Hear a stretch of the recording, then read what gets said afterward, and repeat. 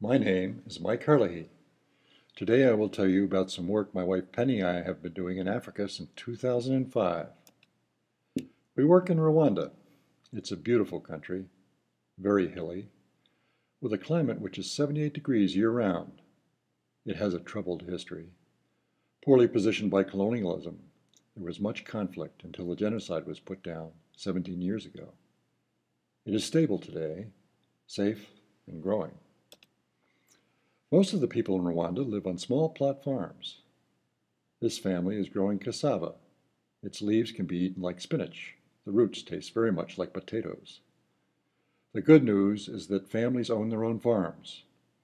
However, it's a meager existence. The government provides schooling up to the sixth grade for these children, but the fees for middle and high school are too much for this family of eight children to afford. The Byimana Sciences School provides these children an answer. 300 of its 800 students come from families like the Hakazimanas. They cannot pay the $200 yearly cost for boarding school.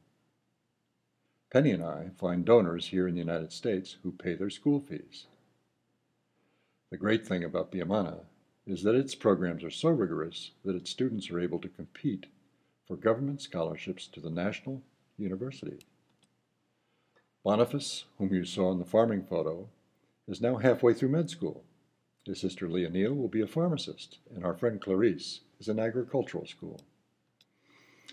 We believe that these young people will be the future of Rwanda. Already, Rwanda has made considerable progress, as this recent scene from their capital city demonstrates. We call our program the Byimana Sponsorship Program. For those of you who are not able to travel with us to Africa, you too can make a big difference in transforming Africa.